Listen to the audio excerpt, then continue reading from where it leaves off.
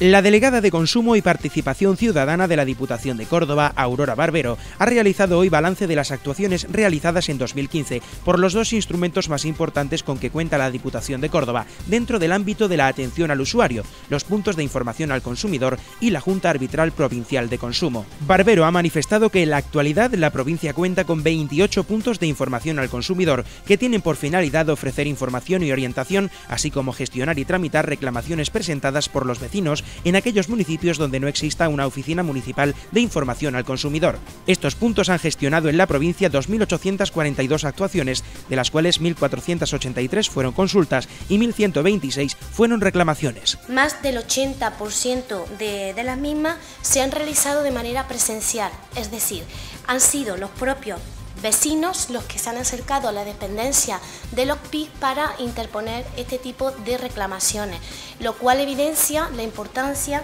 del principio de proximidad de la Administración al ciudadano, a los vecinos de cada uno de nuestros municipios. La Junta Arbitral recibió un total de 614 solicitudes de arbitraje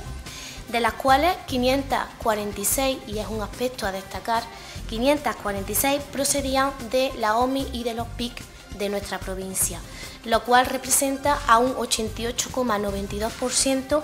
sobre ese total que procedían de reclamaciones interpuestas por los puntos de información o por las oficinas municipales de información. Los sectores que generaron más reclamaciones fueron telefonía móvil, electricidad, telefonía fija y servicios bancarios y seguros. Los puntos de información al consumidor con mayor actividad fueron los de Bujalance, Moriles, Rute, Hinojosa del Duque y Nueva Cartella.